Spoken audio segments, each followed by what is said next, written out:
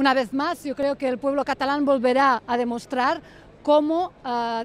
solicita o llega, hace llegar sus demandas uh, en la calle, que es una manera no violenta, pacífica, reclama, uh, exige, pero siempre desde un posicionamiento pacífico, reivindicativo